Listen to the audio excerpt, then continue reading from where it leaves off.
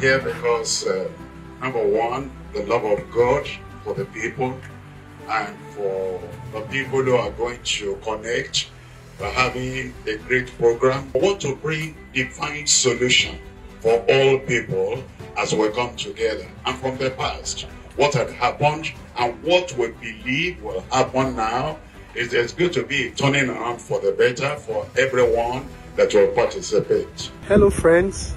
I'm Nathaniel Bassey, and it is my great privilege to be ministering in songs alongside our Father in the Lord, Pastor Dr. W.F. Kumuyi, for the Divine Solution Global Crusade. It's happening at the Papal Ground, Abuja. Five days of divine solution.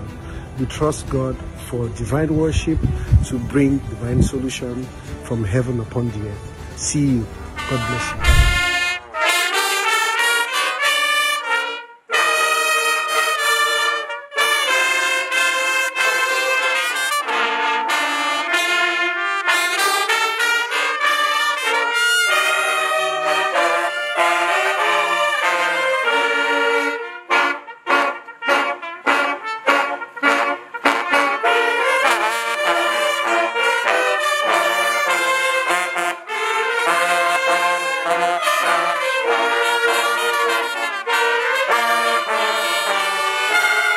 Get set. Spread the news to family and friends. Divine solution for all. Anything that tied you down, everything is broken in Jesus' name. This is personal. Handle it personally. Personally.